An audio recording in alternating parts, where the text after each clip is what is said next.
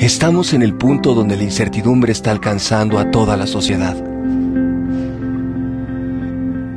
La buena noticia es que el ser humano siempre ha superado cualquier adversidad. La historia lo demuestra.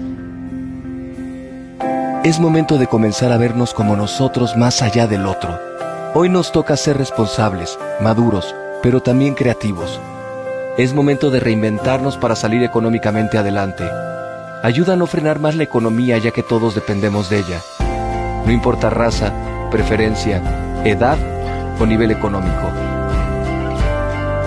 Todos somos parte del engranaje que mueve al planeta. Sigamos adelante. Puxil.